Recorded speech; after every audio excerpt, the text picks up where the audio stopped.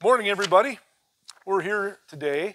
I'm going to address a topic that we've gotten a tremendous number of questions on of differing opinions, but moreover, misinformation. So we're going to cover gearing today, and we're going to cover some of the basics, give you guys sort of an overview of how to choose the right final drive gear ratio, uh, how to make that decision and, and, what that decision means and how it relates to other calibration issues. But the first thing we're going to do is kind of drill down on some of the, the details. There's a lot of new stuff this year, um, as always in this industry, but we're going to talk a little bit about QD1 and QD2 in the Polaris lineup.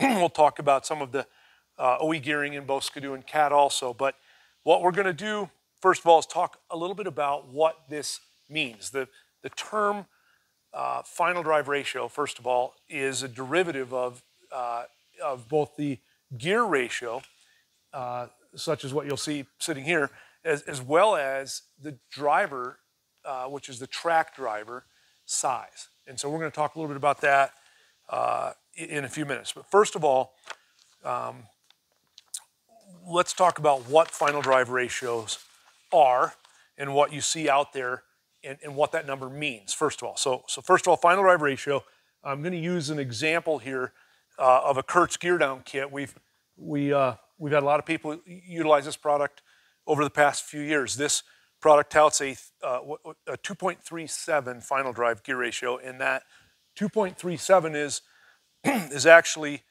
derived at because of the 2.093 ratio between these two gears and the correction of the driver. Now, you're going to go, that doesn't really make any sense. And I'm going to explain this because this industry has gone through a lot of changes with respect to track pitch. And, uh, and in doing so, they've adjusted the number of teeth on a driver. And I'm going to have Chase grab a driver for me here. And I'm going to show exactly what I'm talking about. So just to make certain that everybody understands final drive ratio, the last sort of plug, plug in in the equation is, uh, is actually a reference to the original sort of OG driver, and everything is done from that. So that would be on a nine tooth 2.52 driver. So everything is commonized. The reason that they do that, I don't know if, if this will make any sense to some of you guys out there, but uh, it's sort of the same thing that we that, that science does say with the cosmological constant, right? It's the last thing they plug in so that all relevant data is commonized. All information is relatable across different track pitches and things like that. So great, you grabbed, this is an interesting driver. This is a, an, an extrovert driver. You'll see that it has six teeth. Uh, now on a six tooth driver like this, you'll also notice that th this is a pretty broad spread from each one of the peaks of these teeth. Um, and, and, just to put that in perspective, that's three and a half inches uh, around to the, to the center of the next driver. This would be a six tooth off of a three and a half pitch track. So, and that's a little bit more common this year. So it's important to know that this is the device that drives the track. More common to say uh, an OEM would be a driver like this. Uh, you'll notice that this is a, a seven tooth driver and paired with an extrovert in the center, common Polaris setup. This is on a 286, so they're a little bit closer. So what does that mean? Um, why don't we, uh, Chase, grab this, uh, grab this mic and show on this track here. Come over here with me. I got Quinn on the camera. Hi, Quinn. Everybody say hi, Quinn. Chase here running this. So the, the track pitch is the measurement between the center of each one of these two, some people say paddles. There's a fiberglass rod inside the track uh, and most of the drivers engage that fiberglass rod if they're an extrovert. Uh, otherwise, there's involute rubber nubs that are, that are driven on. But the center distance or distance between those two drive points is called the track pitch. So you'll see this is a 286 track. This is a 2.6 lug height in a 286 pitch. So you'll, you'll see that uh, as you'll see that, the, like for instance, most of the three inch tracks are a three inch meaning there's a bigger distance between these two. And the new 275 is a three and a half pitch. We can show you pictures of that if you want, but or, or, or sh show that, but not terribly necessary. Uh, it's just important to note that as we've moved forward into these different pitches uh, and lug heights, it's necessitated uh, different driver sizes. So each manufacturer, depending on the distance inside the, uh, or the clearance inside the tunnel, as lug heights have increased, track driver sizes have, have ultimately decreased. And, and so that grossly affects gearing. And you can imagine why, right? The smaller that driver is driving the track, the more revolutions it would have to make to make the track make one revolution, right? So it's pretty simple. Uh, so that's why you have to factor track driver size into the final drive ratio. So this is where this gets really important. The final drive ratio, like I said, listed, say on the Kurtz gear down kit for an AXYS is a, is a 2.37, um, but it's actually a 2.093 on the actual gears. So again, everything is multiplied by the same multiplier as though it were sporting a 9-tooth 2.52 pitch. That's the original industry driver and the industry standard, still very much so in lower altitude applications, which still represents a large number of units. So, so, so it's an important thing to understand. If you guys have any questions after this, feel free to shoot me uh, some questions. Um, I'd love to get to a place where we could do live streaming and, and maybe have somebody answer questions and whatnot, but uh, or, or shoot questions to me. But right now, just making sure you get it. That's what track pitch is. Um, so back to that final drive ratios. To break this down, uh, I'm gonna I'm gonna just shoot you a few things that are that are important. It, an AXYS RMK QD1, and we're gonna call that that because now we have the QD2. So uh, we're gonna talk about the QD1. That's the original belt drive system on an AXYS.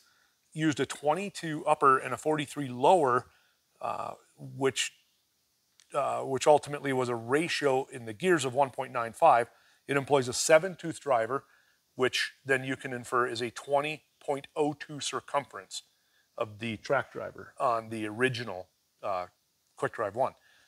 So, with a 286 track pitch, that renders a 2.209 final drive ratio. So, the old AXYS was a 2.209.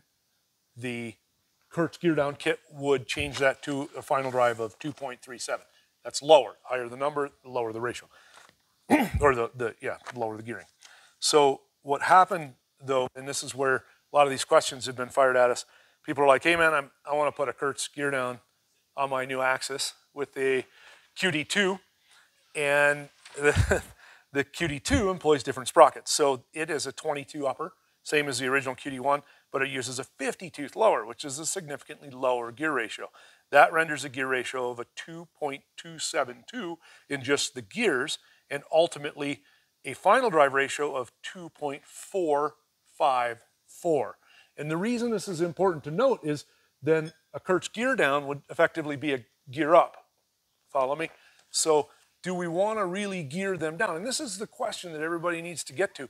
The, the natural assumption that the factory ultimately overgears everything, and the first thing that anybody has to do is gear their snowmobile down, is a bit of a misconception. And I'll, I'll use another example.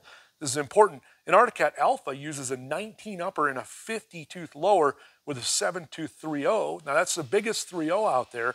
Uh, it's a 21 inch circumference on the driver, but it still renders a final drive ratio of 2.841. Super low. So you don't gear that down, right? or maybe you do depending on your use application, which we're going to talk about in a minute. But just wanted to throw that out there. So to throw a few of these other numbers out, uh, an AXYS RMK with a chain drive, that unit uh, employing stock gears of 1944 was a ratio of 2.315 and ultimately a final drive ratio of 2.50. So the 3.0 uh, units that were out there, the th uh, I'm talking 3-0 pitch, three inch paddle chain drive units that were formerly offered in the AXYS chassis were sporting a 2.5 final drive ratio already, which was lower than, say, the Kurtz 2.37 that was, you know, was considered an upgrade on, on the AXYS belt with a 2.6. So uh, as I alluded to at the beginning of this, when you go with a deeper track lug, you have a greater snow fill, more traction, and ultimately uh, benefit from a lower gear ratio most of the time. Plus, the higher the lug height, the slower your ultimate um, terminal speeds will be. And for that reason, it's not necessary to be geared that high. And, and we'll talk about that premise as well. But moving out, just to throw the other ones out there, a Pro RMK, uh, say 13 to 15 with a belt, used a 21 and a 44 with an 8 tooth 286 and was a 2.077. It's interesting that the OEMs in that era were definitely overgeared, and so it's very common to gear them down. But as we kind of move forward in time, you'll see that uh, gear ratios have, have inherently moved to lower and lower ratios on the OEM level, and, and we'll talk about the reasons why. Uh, a Summit, for instance, an Expert 85154 uses a 2151, which was a 2.429 in the gears, but with its driver correction, uh, it renders a 2.249 final drive ratio. So uh, anyway, hopefully that gives you an idea of final drives. That's, uh, again, using a final drive comparator or constant, if you will, uh, of the 22.68 circumference of a 92252. Remember, 252 was the distance between on the track, so that's pitch. Okay, so hopefully I can put this chart down. Uh, I'm not so sure that, that we can get a great shot of this, but if anybody is interested in this data, there's the data that we have on this sheet. Okay, so you can pause that or whatever. Anyway, there's tons more. It's easy to get. Can get it pretty much anywhere. So this is my this is my notes. So not much to talk about here, but I wanted to go back to the beginning. So gearing 101, how to choose the right final drive ratio for you. What it, what are the considerations that a person should think about when making that decision? Do you arbitrarily do it? Because what I get the feeling based on the phone calls and emails I've had this year is that the first thing you do to determine whether or not you should gear your sled down or up is get on a forum and ask somebody. All right, so by show of raising your hands, does anybody agree with that? The first thing you do, I'm going to pretend like I have an audience. You like that? first, the first thing you do when you get your new snowmobile is you get on a forum and you say, hey guys, should I gear my sled down? That question is not easily answered by anybody other than yourself. Without the data and the considerations, you can't arrive at the answer to that question. So, um, so, so what are the things that, that, you should that, that you should ask yourself? What's your use demand? What is your riding style? What's your track length and lug height? Uh, what's your target or expected top speed? Um, is belt heat a very real consideration in your riding style? So, so I'm going to back up into that. The higher altitude that you're at, the lower terminal speed you have, the lower horsepower you have, and engine horsepower is a very real consideration when gearing, of course. So one of the things that we want to do is, is we want to start at the top and work down to get uh, where you might want to land. One of those things is, so do you run a road? Do you find yourself, uh, you know, with a flat section a couple miles long and you're just trying to get out to where you like to ride? Uh, if so, you might want to leave a provision in that final drive gear ratio that you can achieve those speeds without rolling your drive belt over when you push it out of the primary clutch because you geared way too low. And that does happen. And that can result in a very catastrophic failure and do a significant amount of damage. My guys will attest to the fact that we, we replace oil bottles and clutch covers and belly pans and things like that when terminal velocity is reached. And and, and, you keep your thumb in it. So, so it's very, very real consideration. So if that's not a priority, so, so I, I wrote down on here, set priorities because you can't have, you can't have it all right now. You can't have everything you want. Uh, you can have uh, most of what you want, right? So setting priorities is, look, I kind of ride, I like to ride trees or I like to bang hills or I like to drag race or I like to cover ground and I might ride 50, 60 miles in a day, so it's quite a bit of trail. The idea here by doing that is determining really where you find your fun and where you're operating that in terms of a speed range so that we can determine what the right gear ratio is, right? That's what we're trying to do. So keep in mind, and this is going to uh, be another one of those abstract thoughts, but I want you to try to go with me down this road. Um, the most efficient transfer of energy from the engine, the unit making the power to the track um, through the drive clutch is when the drive clutch is somewhere around two thirds of its clutch sheave face. So um, some argue it's 60, some say 66. I, I don't really know, but I know that it's around two thirds of the height of your primary. So that would be essentially two thirds of your of your ultimate gearing. What that means is as the primary closes and the belt moves up the sheave face, at about 60%, you have as efficient a transfer as possible. You're locked up, you don't have a whole lot of slippage, you're going to mitigate heat best in that range because of the efficiency, both uh, in your secondary and in your primary. You're kind of at that one-to-one uh, ratio when you get there. So, so what we have is no slippage on either end of that, so thus no heat, heat build. Uh, heat, obviously, and, and, and this is very important, uh, and, and, people seem to not consider this point, but I, I just want to make sure that you understand heat is an energy as well. So the engine can only make so much energy. Uh, if you expel that energy in heat rather than in propelling the machine, you don't have an efficient transfer of that energy to, uh, to the snow. So, so back to that point, if you bang around in the trees and you're on a naturally aspirated sled versus banging around the trees on a turbo sled, uh, and which variant of turbo you might be employing, it's going to have a very different result with what the actual uh, RMS, if you will, track speed is. What's the averaged track speed through a half hour of you banging around in whatever it is you like to do? We use uh, we, we do empirical testing with data loggers so we can actually look at track speed and say, you know what, the majority of this is, is being done in and around 35 to 45, right? That's a pretty common one. So if we were to use a low boost turbo, we're probably in that 35 to 45 mile an hour track speed range very frequently as we're spinning and the, and the unit's not. Depends on whether Chase is riding or not because he's always going 100.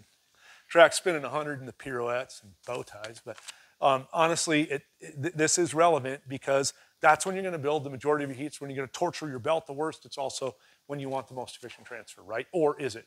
So if that's your use, then you're going to want to gear optimally for that with consideration for the other priorities that you set. Like, yes, I still need to get down the road at 70 miles an hour. Okay.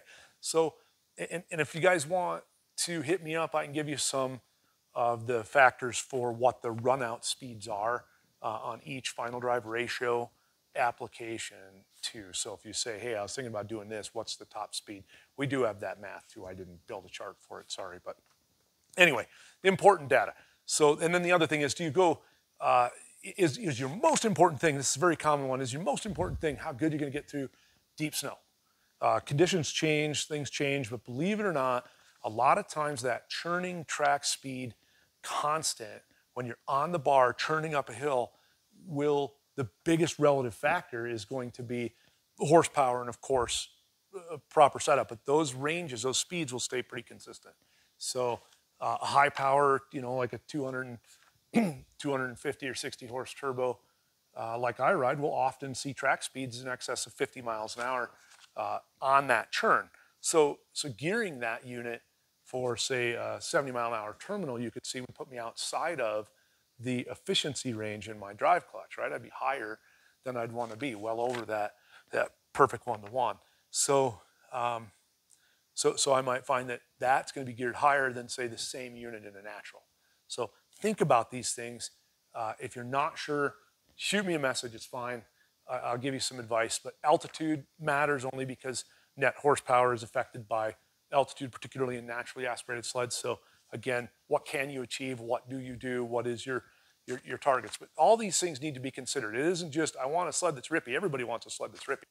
You can, you can very quickly move to a place that, uh, that undergears you. So, so just keep that in mind. And the common mistake I see before I move to the next point on this, the common mistake I see is uh, turbos, uh, because they, they have a period of of what some term lag. It's essentially the time that it takes to overcome the uh, the presence of the turbo. You'll you'll find that, that the bottom end might not be all that you want it to be unless there's boost in it, and then it's it's very responsive. So uh, in the lead up to boost uh, boost charged system, you have that that period of time. So gearing it down can ease that, right? Can make it better. But ultimately, the higher horsepower results in a lot of the failures that that we see too, because people will tend to undergear. So uh, so just keep that in mind and keep in mind that the QD2 is geared surprisingly low. And, and the next thing this kind of parlays into is how the gearing affects certain aspects of tuning. And I don't want to get too deep in this and bore you guys because you're going to, this is kind of what, what I do. But if you're interested, um, let's chat about that a little bit. Uh, the, as you gear down, you relieve the load that the engine perceives.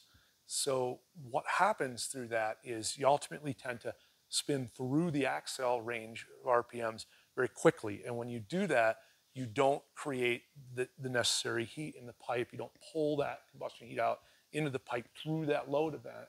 And so two things happen. You oftentimes will overshoot your mark in clutching, so that that'll uh, manifest as an over rev event where you'll hit. Let's just say your target is 83 and it hits 85 and then falls back to 81 and then maybe crawls up to 82, right? That same unit could have had a run out potential of 83, but it's going to land at 82 because you overshot your mark. You never did build the power that you could have potentially built had you labored that unit through that. So, so you'll see that most guys that uh, take an aggressive approach to gearing, particularly gearing down, will pair that with considerations in clutching, either more heel weight to load the motor more during the accel event, uh, or a steeper pre uh, angle in the helix. So the beginning angle of your helix is where a lot of your pre-shift or, or the initial acceleration event is translated to so that you can turn that engine acceleration rather than just a, a wing it up into an actual force event that does you know two things, pulls your arms and transmits that heat into the pipe and creates a more stable and better uh, horsepower run out uh, on the big end. So hopefully that's all making sense to you, but that is something. There is other considerations. So substantial changes to final drive gear ratio can drastically affect, um, like I mentioned, clutching, but also we make changes to timing and fueling. And this is a big deal, and it parlays into one other little point that I think is a sidetrack, and this is why this, this industry is incredibly complex. And hit up the experts for information on this before you go too far down some of these roads. But the worst nightmare for, for me tuning, say, a turbo that tends to have a volatile acceleration when you overcome that hump is when you have a drastically gear reduced unit with an enormous amount of effort put into weight savings, right? Um, so, so Chase is one of the guys that is out in the field with me all the time. And so we're, we will put a logger on a unit like that and we induce bogs, right? Because the engine accelerates so quickly that we can't uh, we can't capture the accel event, fuel can't keep up, things are, tend to be a bit of a mess, right? So, so what we've found is that if you are a turbo guy that is trying to maximize the effects, I think in most of our testing it was you can do a secondary. Uh, if you do a primary, you better not do a flywheel and a, a cup, right? Yeah. Now on a natural, you can do that and get away with it, but it still has to be adjusted in order to pull that heat out. So we'll make some ignition timing changes and fueling changes to make sure we're drawing that heat out. and then there's other tools in the toolbox that we can use um, in tuning to get there. But the don't make problems and then get on the forums and tell somebody it was because of your gearing or it was because of this or because that. A lot of factors that can contribute to the ultimate result. so consult with professionals. There's a reason we're professionals and we're out there every day in the snow when there is snow. Almost had some the other day. We threatened to get out there and do some, some testing, but somehow or another the rocks are taller than the six or eight inches of snow we got. But anyway, we're looking forward to that. So, uh, so just keep that in mind that a lot of lightweight stuff in conjunction with low gearing does create a bit of a nightmare. It has to be clutch different, has to be calibrated different. And in a way to explain that a little simpler is if you have so much lightweight stuff in there, you're revving through it so dang quick that mm-hmm. one, it's extremely hard for us to find out where the problem is in the tune. Because yeah, without a logger, it's nearly it's impossible. impossible mm-hmm. so. Yeah. So yeah, and, and, it does cost a lot to get you know a unit individually. The, the time investment on our part and the money investment on your part to get a unit on a logger and spend the day in the snow, inducing the scenarios that might create those problems. Um, I mean, we, we always find it. We can make anything run. It just, you know, costs money, takes time. There's no so. magic calculator to figure no. out that it's so, um, I had a few other things that came up. So I, am taking some notes. Th these are some of the notes I got from you guys asking me questions specific to this stuff. Um, somebody asked me what the difference between track pitch and chain pitch was and what that meant because chains are, are, are, measured in pitch too. I wanted to show that. So uh, this is a chain, and uh, so I don't I don't know if if you can see this all right, but chain pitch is is is rendered very differently than track pitch. Track pitch was the difference, like I said, between the rods. Chain pitch is actually the total number of link spaces that there are. So this, for instance, is a 74 pitch chain. 74 pitch really only means how many link spaces there are. So that pitch, again, this is our industry that does a few things a little strange. Some of it comes from different industries, some of it is a result, but that's the reason why. So, so a different chain pitch is literally just a different length of chain, not anything else. Um, also another question related to chain. So uh, yeah, you can come over here. I know I, I tell him keep the camera a long ways away so he can't see, you know, can't can't see all my flaws. No, I'm just joking. Uh, so standard chain setups like this, uh, just to, to understand when you're choosing a chain gear ratio, um, and, and, you, and people will tend to, because it's the simplest and cheapest, reduce the size of the upper chain sprocket to, in an effort to, um, to, to, to, lower the gearing. But what that does is creates a situation where you have more bend back. To, so, so there's a tensioner inside your chain case that will bend the chain back. The more you backbend a chain, the, the more efficiency loss there is. Same thing with the belt, actually, as well. Just the less number of angles, even though it's not on the tension side, meaning it's driving it this way, so this side is the tight side, uh, there's still some parasitic loss due to the amount of bend back. Um, there is some advantages too, though, that you can talk about as you get to very small ones. You get a greater tooth engagement with more bend back, and there's some other things like that. But but I just want to make sure that you understand that uh, efficiency is, is, is adversely affected. So we tend to often try to pick a combination that keeps the chain the straightest it can be. And also in our empirical testing on loggers, we have been able to kind of end the question of what's more efficient. I love this question because there's, there's no simple answer, but there really is a simple answer. Uh, a chain drive, uh, this is, this is the, the, the kind of the 10,000 foot view. A chain drive actually is more efficient at high speed than a belt. I know some of you belt lovers are going to be like, "Oh, get the eggs out, throw the tomatoes." Uh, it's just it's just fact. This system, there's almost no parasitic loss at high speed, uh, provided you have an appropriate gear ratio installed.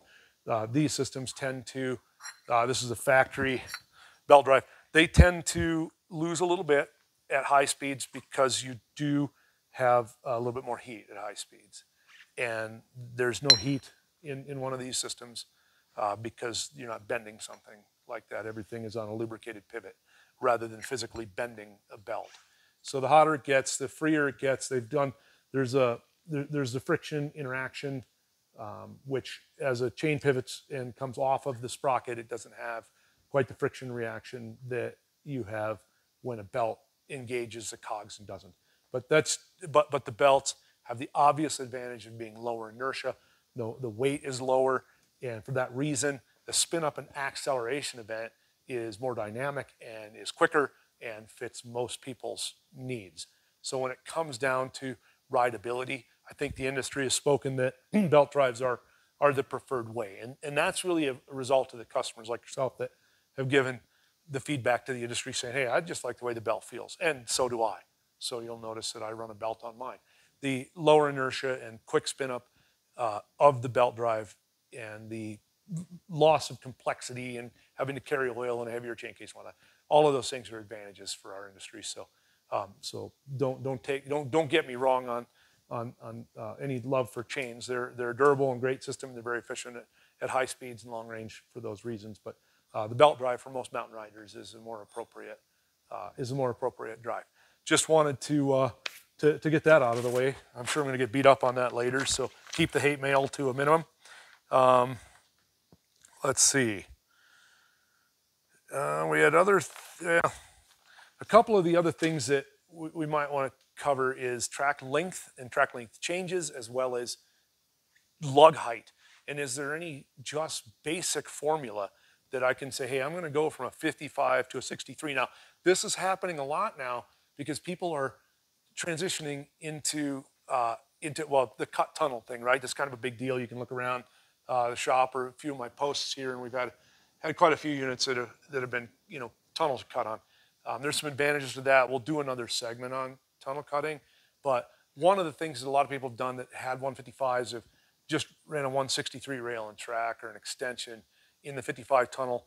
Um, but don't don't forget when you go to a longer track, there needs to be a provision for gearing. For instance, uh, if you buy a Skidoo, 154 versus a 165, they have two different gear ratios in that unit, um, and, and, uh, and, and as well they should. So um, changing those gear ratios and react in, in uh, direct re- relation to your track length does matter, and that has to do with all those same variables we're talking about. What's terminal speed, um, and, and what type of riding, and what's going to be the, the churn speed. You're going to obviously have a little higher track speed when you're uh, churning a, a, shorter track than if you were churning a longer track, right? Ground speed will be higher, track speed will be lower. So uh, all of those considerations have to be made, uh, as well as switching to, you know, some there's some bigger tracks out there, um, you know, well over three inch stuff now that is is getting used uh, in some applications. Uh, some of those applications will require a smaller driver, which gears you down, in which case you may have to gear up in your chain or, or belt drive system to accommodate an even smaller driver yet. Uh, but keep in mind that this is all relative. So I hope all of this translates into something that you guys can have a reasonable takeaway from. I mean, that's ultimately I'm about trying to let you guys in on and, and open your mind to thinking about kind of all the different variables that, that go into this. So um, in a nutshell, don't just throw gears on it. Don't jump on your forum with your buddies to figure out what to gear it. Um, consult, talk, think about it, consider, set your priorities, and then and then uh, and then reach out, and, and we can help you uh, make the changes necessary to keep you up on the bubble as far as optimal runability. But I hope that's uh, hope that's informative, and let me know what else, uh, what other topics you guys would want to would want me to talk about. So happy to do it. Thanks. Have a good day. See you on the snow.